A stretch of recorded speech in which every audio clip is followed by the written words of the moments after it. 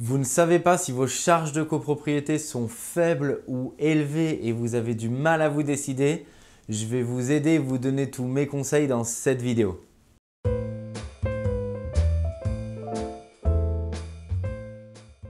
Bonjour à tous, je m'appelle Michael Zonta, je dirige la société investissementlocatif.com. Mon équipe et moi-même, nous accompagnons des centaines d'investisseurs sur le marché à Paris, en région parisienne et à Lyon. Et aujourd'hui, je voudrais vous aider à prendre la bonne décision quand vous regardez une opération, euh, qu'on vous annonce le montant des charges de copropriété. Et quand vous regardez l'opération, vous ne savez pas si ces charges de copropriété sont faibles euh, ou sont élevées. Et du coup, je vais vous donner mes conseils pour vous aider à prendre la bonne décision quand vous souhaitez vous positionner sur une opération. Alors en 1, qu'est-ce que sont les charges de copropriété et à quoi elles servent? Alors, les charges de copropriété, c'est l'ensemble des éléments et l'ensemble des dépenses qui vont permettre le bon fonctionnement de votre immeuble.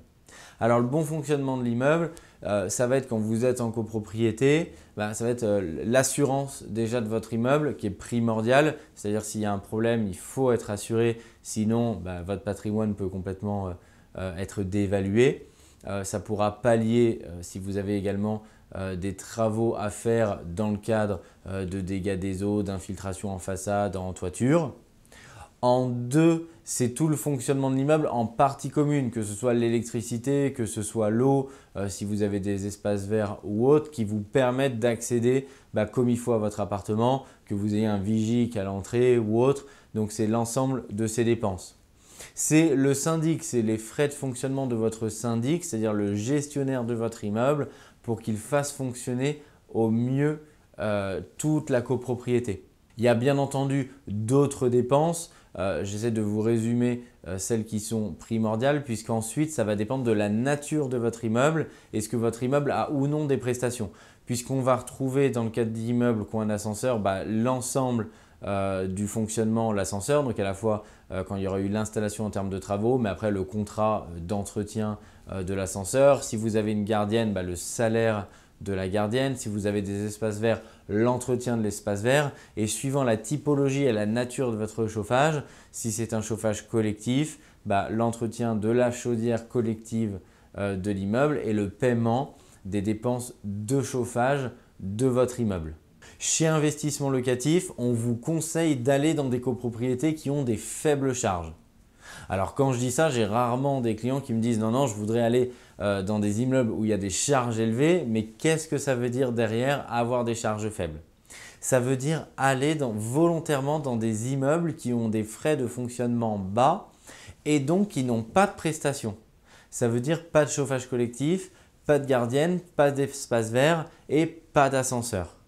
Et pourquoi? Parce que le but du jeu, c'est comme vous achetez pour louer, vous n'allez pas tirer profit et tirer parti directement vous en tant qu'investisseur de ces prestations. Donc il n'y a aucun intérêt à les avoir, sinon vous allez avoir des charges élevées que vous allez devoir payer alors que vous ne profitez pas de l'ascenseur, vous ne profitez pas euh, de la gardienne, vous ne profitez pas d'espace vert et vous ne profitez pas en tant qu'investisseur du chauffage collectif puisque c'est votre locataire qui va en profiter. Et vous ne pourrez pas suffisamment répercuter dans le prix du loyer l'ensemble de ces prestations. Ce qui fait que quand votre locataire va vous payer votre loyer dit charge comprise, vous allez ensuite devoir reverser à votre syndic une partie plus ou moins importante suivant si vous vous trouvez dans un immeuble à faible charge, avec peu de prestations ou à forte charge. Mais vous n'allez pas arriver à répercuter suffisamment à votre locataire. Sauf si c'est un choix personnel parce que vous avez la volonté d'avoir ce type de prestation et que vous êtes prêt à payer pour cette prestation, alors ça peut s'entendre, mais il faut que vous soyez conscient que cela va réduire forcément votre rendement si vous décidez d'avoir des prestations supplémentaires. Généralement, on cite ces quatre-là parce que c'est les quatre plus connus, ascenseur, chauffage collectif, espace vert ou gardienne. En deux, je voudrais vous donner un ordre d'idée de ce que sont des charges faibles pour vous aider à décider quand vous êtes en face d'un dossier, euh, que vous regardez une annonce immobilière, que le montant des charges est indiqué et que vous dites tiens sur cette annonce immobilière, est-ce que les charges sont élevées ou faibles? On parle de euh, moyenne ou de moyenne basse, dit faible, dans un immeuble à fonctionnement normal euh, qui n'a pas ces prestations-là. Pour un studio, retenez que la moyenne est à 50-60 euros par mois de charge. Retenez que pour un appartement type T2, on va plutôt être aux alentours des 80 euros par mois que pour un produit en type T3, c'est-à-dire un produit de colocation quand il y a deux chambres ou trois chambres, on est plus autour des 100-120 euros par mois de fonctionnement. Et ensuite, bah, quelquefois, on fait des projets euh, de découpe, on achète une grande surface qu'on divise en plusieurs appartements. Donc là, ça revient au, cumul euh, précédent euh, que je viens de citer. Avoir ces ordres de grandeur en tête, c'est primordial pour prendre une bonne décision. Certains investisseurs, et c'est normal si vous êtes débutant, ne vont pas savoir sur un studio si 50 euh, euros c'est une bonne opportunité si ce sont des charges faibles euh, ou si 100 euh, euros c'est des charges faibles. Et ça fait une grande différence.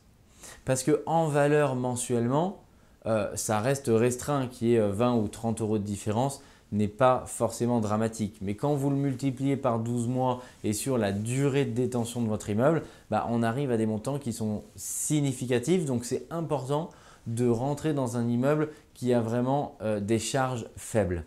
Enfin, le dernier point, c'est que moins vous avez de prestations, moins vous aurez de frais d'entretien. Pourquoi? Parce que si vous avez du chauffage collectif, bah, malheureusement, au-delà du contrat d'entretien du chauffage collectif, un jour, vous aurez la chaudière de l'immeuble qui tombera en panne et on parle d'une dépense très importante et significative. Euh, la gardienne, si un jour vous décidez euh, de ne plus avoir de gardien ou de gardienne dans l'immeuble lors d'une assemblée générale, bah, le fait d'enlever la gardienne, que ça passe par un licenciement, il peut y avoir un problème de prud'homme, vous fera euh, un montant de charge extrêmement important à payer. Quand vous êtes sur les espaces verts, c'est pareil, il y a un coût d'entretien, c'est-à-dire un récurrent qu'il faut absolument euh, supprimer. Et du coup, quand vous avez l'espace vert, vous avez ce récurrent qui est là, vous ne pouvez pas l'enlever. Et donc, ça va représenter sur la durée de détention de votre immeuble un montant important. Et même raisonnement sur l'ascenseur, l'ascenseur un jour tombera en panne, où vous aurez un changement à faire, où vous aurez des normes à respecter qui vous seront imposées. Et du coup, vous aurez des frais euh, de fonctionnement liés à cet ascenseur qui seront importants. Je suis persuadé que cette vidéo aura aidé toutes celles et ceux qui se posent la question sur le dossier en regardant une annonce immobilière. Tiens, est-ce que les charges sont élevées? Est-ce que les charges sont faibles? Est-ce que c'est oui ou non une bonne opportunité? Et cela vous aidera à passer à l'action parce que souvenez-vous, dans l'immobilier, le plus important, c'est de débuter et de passer à l'action. Pour toutes celles et ceux qui ne l'auraient pas encore fait, je vous invite à vous abonner à la chaîne YouTube pour recevoir l'intégralité de mes conseils en immobilier pour que vous puissiez réaliser une opération immobilière très rentable. À bientôt, merci.